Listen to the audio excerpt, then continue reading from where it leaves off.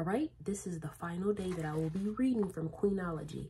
This is very important, and I want you to tune in and get close in this one.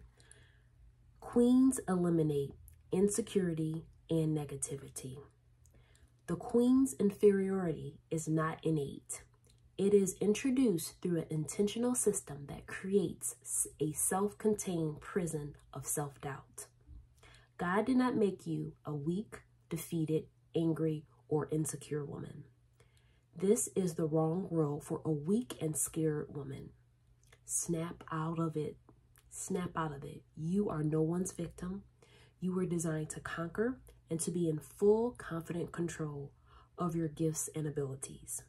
2 Timothy 1 and 7 puts it in the plainest language when it says, For God has not given us a spirit of fear, but of power and of love and of a sound mind. The text is very clear that God did not give us a spirit of fear or timidity. Rather, he gave us a spirit of power and of a strong mind.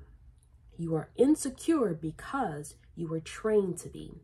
Insecurity is not a built-in character trait. It is a conditioned behavior.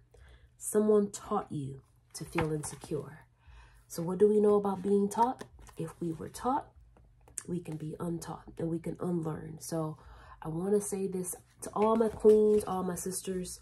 Um, we may have not grown up with this training, but guess what? We can reparent ourselves, we can relearn, and we can regrow. So I'm rooting for you. I'm rooting for me too. And I wanted you to know that Queenology, the study of queens, it's out there for you.